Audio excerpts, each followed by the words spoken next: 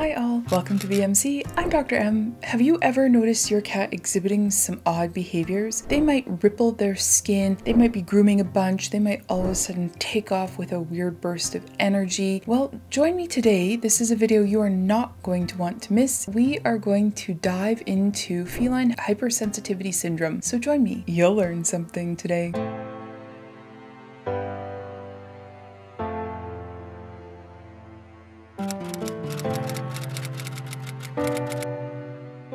Feline hypersensitivity syndrome is known by a number of different names. Some people might call it rolling skin syndrome. Some people associate it with the Siamese breed of cat. Some people call it a neuritis or a neurodermatitis. Other people think that this is actually a psychomotor epilepsy. So, what could actually be going on with your cat? Well, let's discuss the common symptoms that people notice next.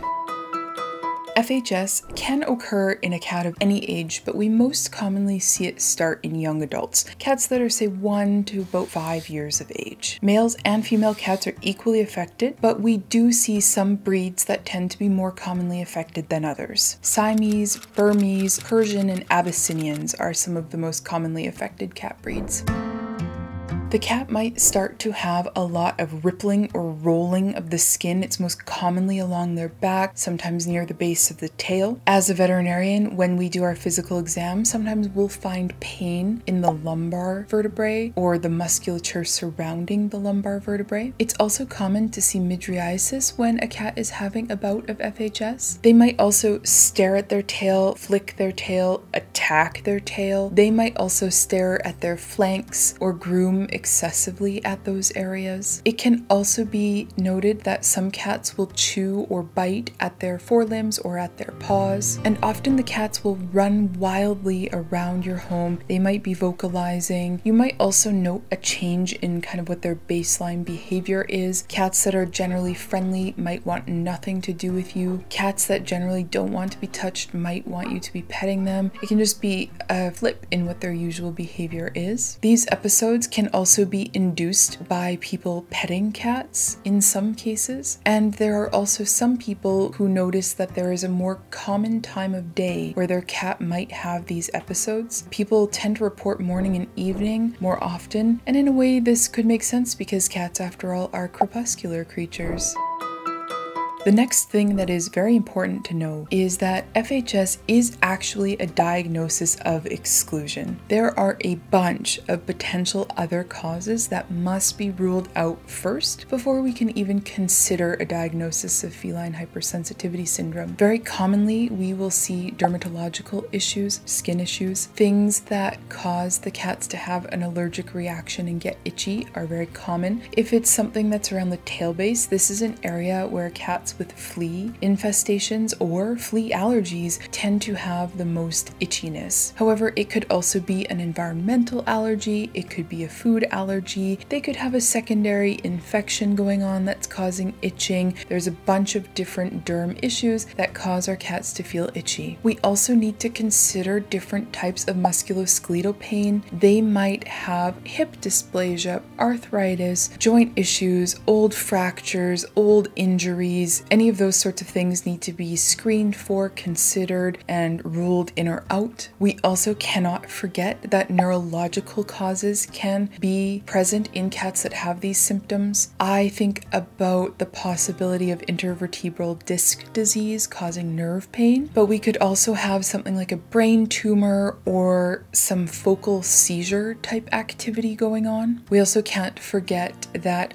an infectious inflammatory issue in the central nervous system could cause these symptoms. And we also need to remember that tumors in various places could also cause cats to have these symptoms. This is why a proper medical workup is the number one, first, and most important thing to do if you have a cat that you suspect has feline hypersensitivity syndrome. The precise medical workup will vary a little bit from cat to cat based on what your veterinarian sees on the physical exam, but we need need to do things like blood work and urinalysis panel. We also need to check with x-rays for old bone issues or to try to rule in or out the likelihood of musculoskeletal damage. We also might need to do skin scrapings to check for secondary diseases. It's pretty common to trial medication to help with itching like a steroid because if the cat is having an allergic issue and we give them a steroid, then it should really help their symptoms. If the thought is more likely that your cat has a neurological underlying cause for their symptoms, then you might need to see a veterinary neurologist. They might need to do some more advanced imaging like CT or MRI. Sometimes we will test CSF fluid and do other neurological tests to rule out all of those possibilities. It is very common that part of this medical workup is when we do trials of a variety of medications. This is because there are a lot of medical issues that we're just not very good at picking up with our tests. So it's most common to start with a trial of appropriate prescription flea prevention medication plus or minus a medication to treat itching. If that has no benefit to your cat, then the next step is to be doing a trial of pain medication because if your cat has musculoskeletal or nerve pain, then we need to check for that and give them a combination of an anti-inflammatory and something like gabapentin that does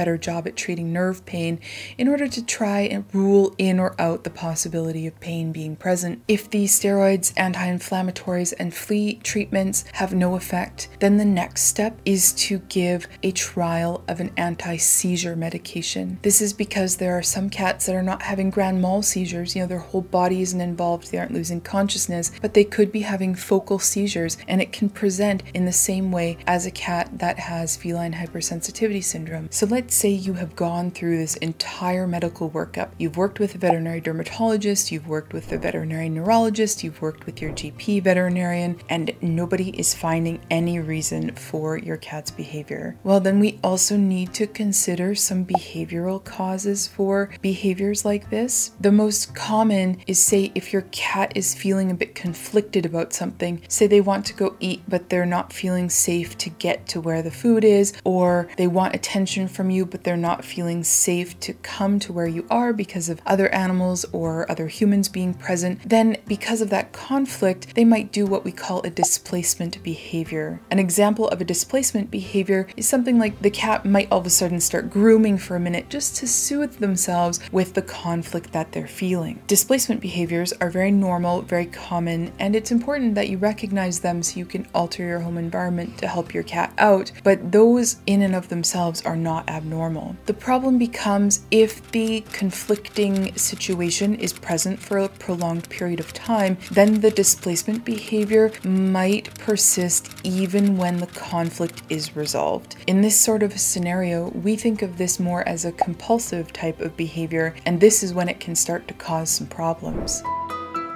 Next, we need to consider what the average treatment plan looks like for cats that are suspected to have feline hypersensitivity syndrome. First, we need to address the underlying behavioral stress that can contribute to these symptoms for our cats. That means creating a very reliable schedule for everything that the cat needs. That means feeding them at the same time every day. That means having morning and evening playtime with a wand type toy. It also means working on positive reinforcement training with the cat. This helps to increase your bond with the cat, it gives them mental enrichment, and it also can help them to understand that you are paying attention to them and that you will respect their boundaries and what they are saying that they need. So, for example, you could teach your cat to sit, you could teach your cat to recall, you can teach your cat to shake a paw, you can teach cats all sorts of things, and it's fun to do so. We also need to anticipate situations that can trigger these sorts of episodes. So if you know that your cat doesn't enjoy being pet in a certain way, then don't do that. Stop it. If you know that changes in your schedule are stressful for your cat, then you will need to discuss medication to use to help reduce the stress that they feel. And lastly, we also need to be absolutely certain that we do not punish the behaviors when the cat does them. If you punish your cat for grooming or racing around or biting at themselves, all it does is increase the conflict and the stress that the cat feels, and this will make their behaviors worse. I know it can be frustrating, but punishment must be avoided at all costs. For medication options, there are three classes of prescription medications that we commonly use for these cats. We might use a tricyclic antidepressant, we might use an SSRI, and or we might use benzodiazepines. Now, each individual may respond in a unique way to each individual medication and or dose. So it can take some trial and error to find a medication or combination of medications that works best for your individual cat. I want to reiterate here that feline hypersensitivity syndrome is and must be a diagnosis of exclusion. It is irresponsible to skip over the medical workup and just decide this is strictly something that's a compulsive behavioral issue. There are so many cats that get misdiagnosed and undiagnosed and who suffer because we don't approach them by properly doing medical workups to look for the more common and more likely causes for these sorts of symptoms. And so, first and foremost, please, please, please make sure that a medical workup is done before anything else for your cat. I hope that you have found all of this information useful. If you have a topic you'd like me to cover in the future, please comment it down below. I love to read all of your comments and interact with you in that way. I also highlight a comment from the previous week in every new video. Here is this week's comment. I do put up a new video most Fridays, and I cannot wait to see you in the next one. You take care, have a good weekend, bye!